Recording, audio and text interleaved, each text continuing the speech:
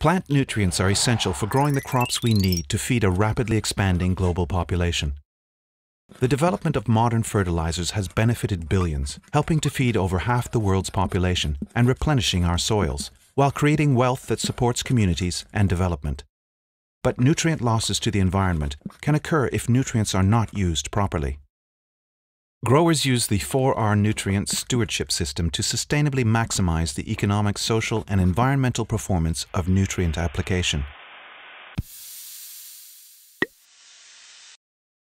They start by setting their economic sustainability goals to increase yields and profits that in turn support rural development.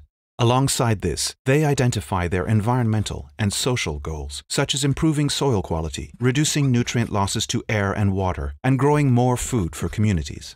They meet these goals by implementing site-specific best management practices, BMPs, which enable growers to make the right decisions about nutrient source, rate, time, and place. All four R's need to be addressed together to ensure nutrients react with the soil and plants in a way that achieves optimum crop uptake and reduces nutrient losses. Let's take nitrogen, the nutrient most commonly used in food production.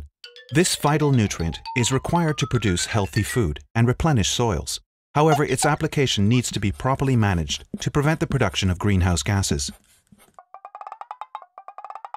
In moist and well-aerated soils, Plants primarily absorb nitrogen from soils as nitrate, NO3, and also as ammonium, NH4. But in waterlogged soil, there is very little oxygen available for bacteria that live in soil. Under these conditions, some of these bacteria adapt by using nitrate rather than oxygen to respire.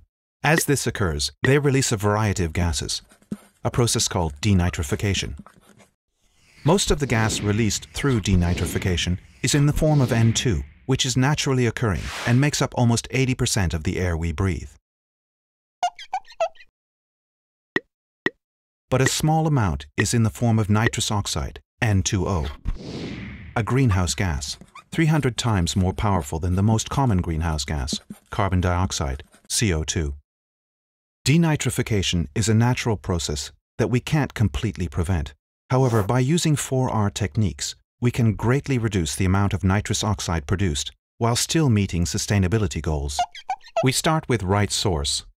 If soils are susceptible to becoming waterlogged, we select fertilizers that don't contain nitrate, but instead supply nitrogen as ammonium, NH4, or urea, NH2-2CO.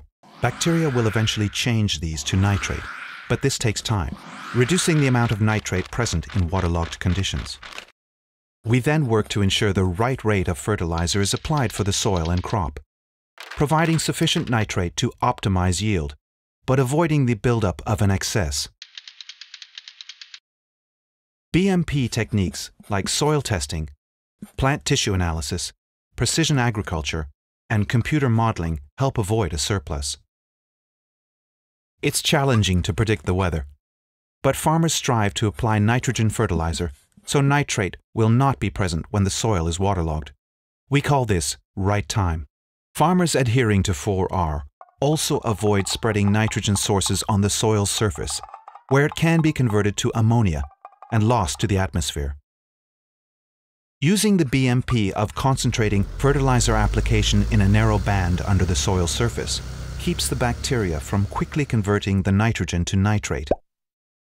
This is right place in practice. By combining all of the four R's, growers can use science in a practical way to better manage nitrate in waterlogged soil. And while each of the four R's alone will reduce greenhouse gas emissions, reductions are much greater when all four are used together. Sustainably managing fields and food production is a huge responsibility that farmers accept on our behalf. Using the 4R nutrient stewardship system, growers can increase productivity, helping feed and bring economic and social benefits to communities, while also protecting the environment for future generations.